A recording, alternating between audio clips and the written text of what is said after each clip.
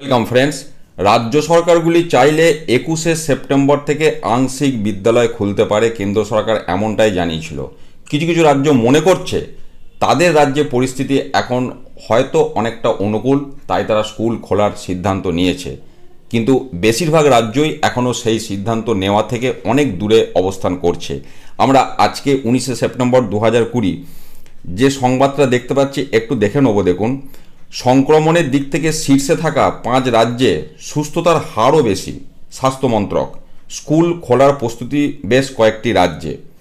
এবং এখানে যে চিত্রটি দেখছেন, বিদ্যালয় স্যানিটাইজ করার এটা বাস্তব একটি চিত্র।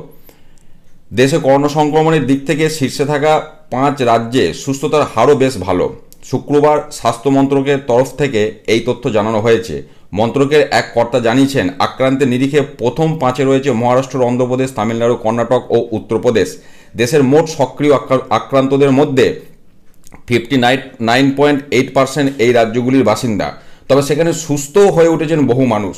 শতকরা হিসাবে যা প্রায় ফিফটি নাইন পার্সেন্টেরও বেশি। দেশের নিরিখে সার্বিকভাবে এই হার seventy eight point eight six percent. সুস্থতার এই হারই স্বস্তি দিচ্ছে সংশ্লিষ্ট মহলকে। পরিসংখ্যান বলছে, বিগত চব্বিশ ঘন্টায় দেশ জুড়ে সাতাশি হাজার চারশো বাহাত্তর জন করোনা জয় করে হাসপাতাল বা কোভিড সেন্টার থেকে ছাড়া পেয়েছেন। এই নিয়ে টানা এগারো দিন দৈনিক সুস্থতা সত্তর হাজার অতিক্রম করল। এর মধ্যেই বাহান্ন লক্ষ ছাড়ালো ভারতে মোট আক্রান্তের সংখ্যা। বুধবারের থেকে সংক্রমণ কিছুটা কমলেও বৃহস্পতিবার সংক্রমণ ছিয়ানব্বই হাজারের গণ্ডি ছাড়িয়ে গিয়েছে। শুক্রবার সকালে এমনটাই জানিয়েছে স্বাস্থ্য মন্ত্রক।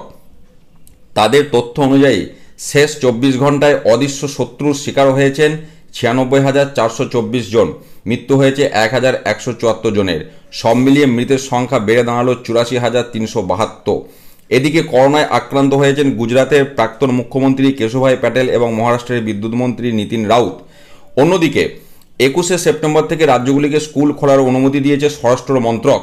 যদিও ওই দিন থেকে স্কুল খোলা হবে কিনা সে ব্যাপারে সিদ্ধান্ত নেওয়ার ক্ষমতা রাজ্য প্রশাসনের ওপরই ছেড়েছে কেন্দ্র। এই পরিস্থিতিতে অসম, হরিয়ানা, অন্ধ্রপ্রদেশের মতো রাজ্যগুলি কন্টেনমেন্ট জোনের বাইরে স্কুল খোলার সিদ্ধান্ত নিয়েছে।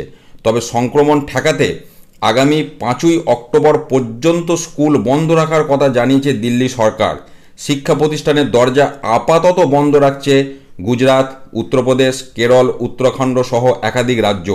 গুয়াহাটিতে একটি স্কুলের ক্লাসরুম জীবাণুমুক্ত করা হচ্ছে, যেটা আমি উপরে ছবিটা বললাম। তো তাহলে আমরা যেটা আপডেট দেখতে পাচ্ছি, বেশ কিছু রাজ্য, তারা মনে করছে তাদের রাজ্যে এখন শিক্ষা প্রতিষ্ঠান খোলা সম্ভব, তারা খোলার চিন্তাভাবনা করছে। অবশ্যই সেটা ঠিকঠাকভাবে যদি হয়, অবশ্যই সেটা আনন্দের একটি বিষয়। এবং আমরা চাইব অতি দ্রুত পরিস্থিতি এমন হবে যে ভারতবর্ষের প্রত্যেকটি রাজ্য আনন্দের সঙ্গে শিক্ষা প্রতিষ্ঠান খুলতে পারবে, বিদ্যালয়গুলি আবার শিশুর করতানে মুখরিত হবে। এই আশা রেখে আপনাদের সুস্থতা কামনা করে এই ভিডিও শেষ করছি। ধন্যবাদ।